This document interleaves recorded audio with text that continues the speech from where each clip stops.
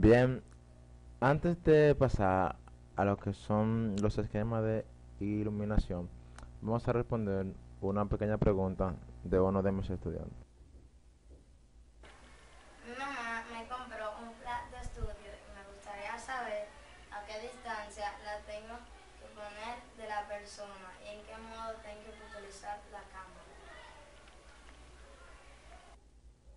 Bien, no hay, digamos, una posición exacta con relación a objeto y flash o foco de estudio. Eso va a depender mucho de la potencia de su flash, la cual se mide en watt.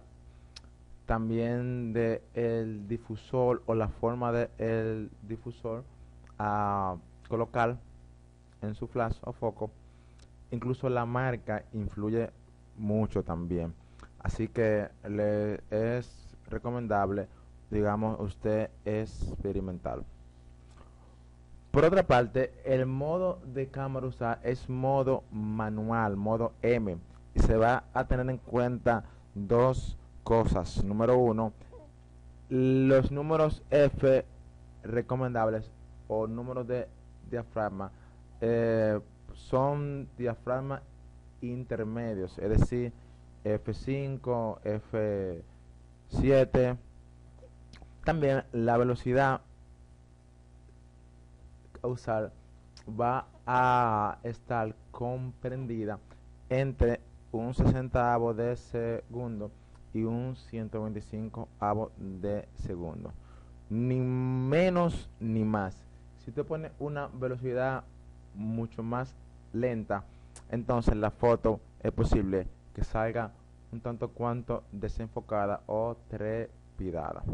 De lo contrario, si pone una velocidad mucho más rápida, entonces es posible que la foto salga con este problema que vemos acá, que el obturador al cerrar tan rápido, entonces digamos no capta el destello completo de luz. Ahora bien, si usted quiere hacer digamos muy preciso, exacto, con respecto a la configuración de su luz, entonces le recomendamos que compre lo que es este aparato que es un fotómetro externo.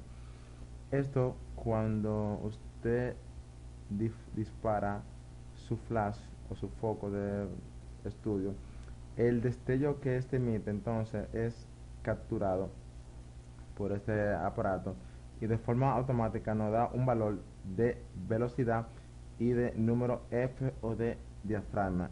Incluso hay muchos que nos dan también una distancia relacionada con el objeto y la posición del flash. Así que les recomiendo que si usted quiere ser digamos muy exacto, preciso, pues que se compre este aparato.